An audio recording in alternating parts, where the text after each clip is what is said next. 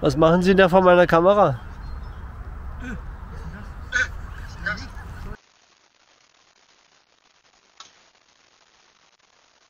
Ich bin hier im Wald bei, in der Nähe von einer meiner Wildkameras und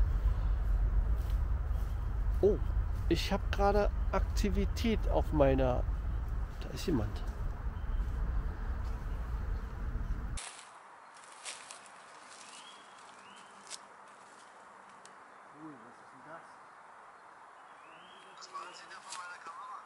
Was ist denn das? Äh, nichts. Ich wollte nur mal gucken. Bin schon weg.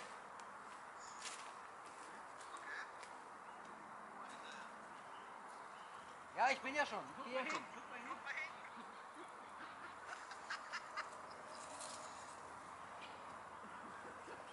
Ich bin weg, ich bin weg.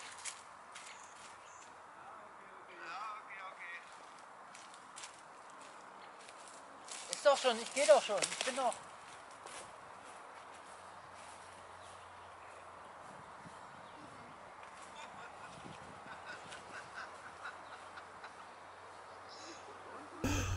Hört man ja? Vor allem konnte ich dich ja auch live verfolgen. Ich sehe dich immer noch. Da?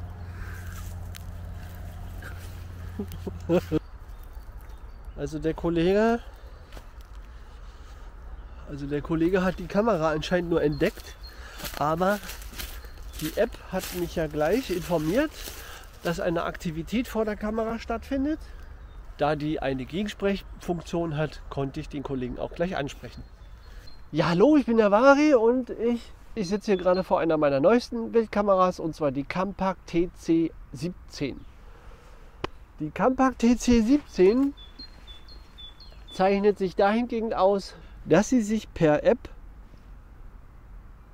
in alle Richtungen drehen und bewegen lässt.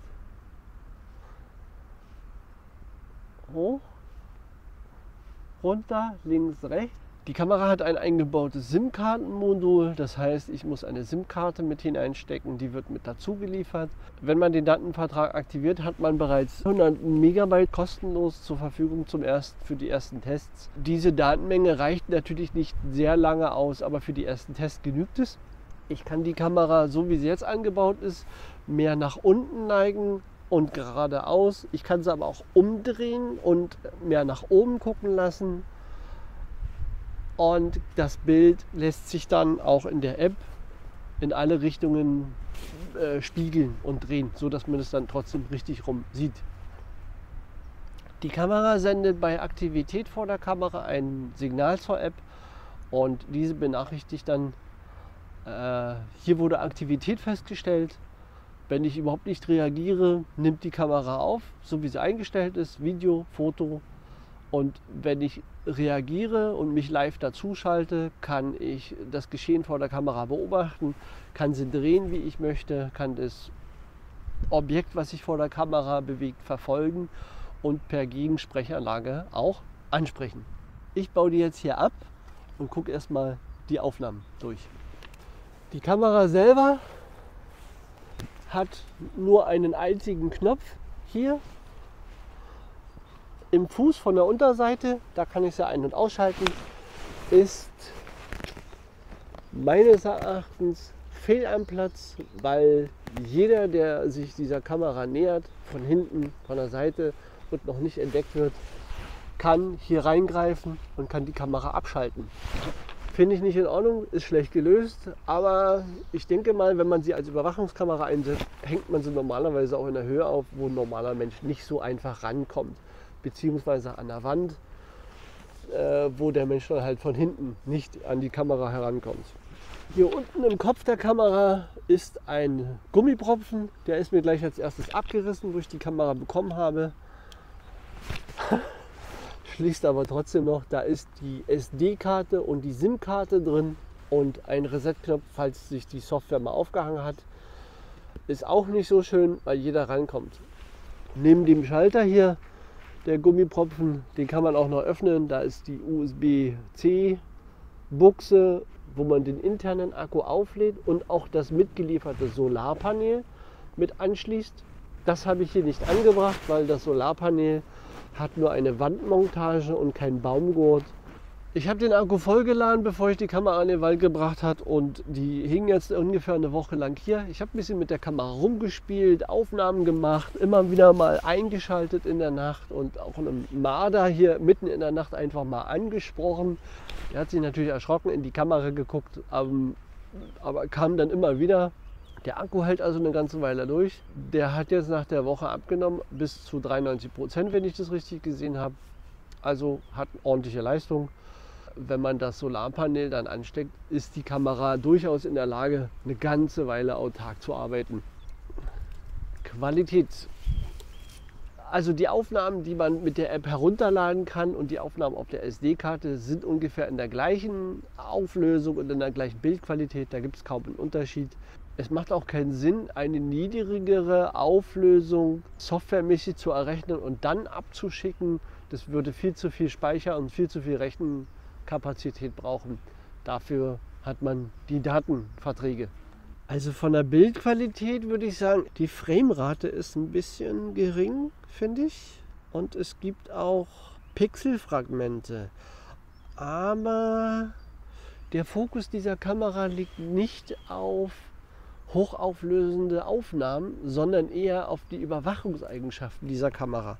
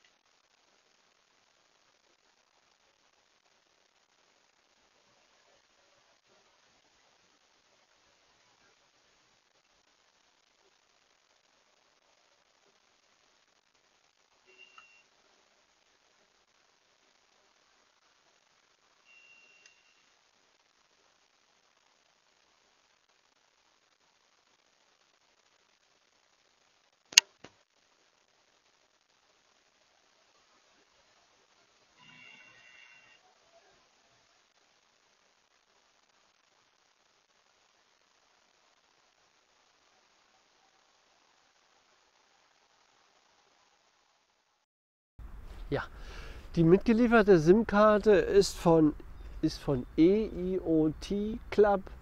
Ich habe von EIOT Club schon mal eine SIM-Karte zum Testen erhalten und finde die Idee, die dahinter steckt, gar nicht mal so schlecht. 60 GB für ein Jahr kosten 180 Euro. 3 GB für 30 Tage kosten 12,90 Euro. Die 3 GB kann man innerhalb von wenigen Tagen voll haben, wenn man ständig die Kamera auch einschaltet, hin und her dreht, diese Signale hin und her tauschen lässt, die Videos runterlädt, dann kann es sein, dass man innerhalb von wenigen Tagen diese 3 GB voll hat. Wenn man die Kamera einfach nur laufen lässt und die Benachrichtigung bekommt, Aktivität festgestellt und nicht weiter nachguckt, dann halten die 3 GB auf jeden Fall einen Monat. Wenn man dann ab und zu mal reinguckt, statt sich die Videos nur runterzuladen, äh, so, so die Aufnahmen schnell durchguckt, die Thumbnails, dann reichen die 3 GB auch für einen Monat. Aber wenn man sich jedes einzelne Video herunterlädt, dann reichen die nicht. So an sich, dieses ganze Konzept gefällt mir, dass man die Kamera hin und her drehen kann, hoch und runter man kann sich live dazuschalten zu den Aufnahmen. Äh, man kann sehen, was im Wald passiert oder vor der Garage. Man kann diese Kamera natürlich auch als Überwachungskamera einsetzen. Nachtsicht. Diese Kamera ist in der Lage, weißes Licht und unsichtbares Licht zu verwenden. Man kann während der Aufnahme, wenn man sich live hinzuschaltet, switchen zwischen weißes Licht und unsichtbares Licht. Mitgeliefert wird bei der Kamera übrigens diese Halterung, der extrem lange Gurt, ein Solarpanel und noch ein paar Kabel. Und die SIM-Karte ist auch mit dabei. Speicherkarte war bei mir nicht mit dabei. Äh, der Gurt ist schön lang und ist auch relativ stabil gebaut. Mein Endfazit zu der Campac TC17 ist zwiegespalten. Es macht Spaß damit zu arbeiten. Für einen Nutzer, der mehr Überwachung haben möchte, wie zum Beispiel ein Grundstücksbesitzer, ein Waldhüttenbesitzer oder ein Jäger, der ganz spezielle Bereiche beobachten muss, ist die Kamera geil.